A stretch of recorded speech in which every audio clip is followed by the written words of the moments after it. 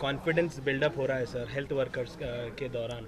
और स्टार्टिंग में बहुत सारे हेल्थ वर्कर्स को वैक्सीनेशन दिया गया, लेकिन परसेंटेज गिरता जा रहा है, कल 45.5 परसेंट हुआ। ऐसा क्यों सर और कोवैक्सीन रोल आउट नहीं हुआ सर स्टेट में, उसके ऊपर? एक्चुअली जितने लोग जो वैक्सीन के बारे में वेट करने के लिए जो निर्णय लिया था, वही लोगों को अभी देना है।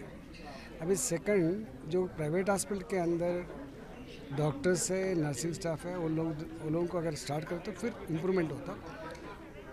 बहुत लोग वेटिंग करेंगे बोल के जो सोच रहे थे, मगर उन लोगों को मैं अपील कर रहा हूँ, ये वैक्सीन 99 परसेंट सेफ़ है। 99 परसेंट सेफ़ है। वो लेना ज़रूरी है।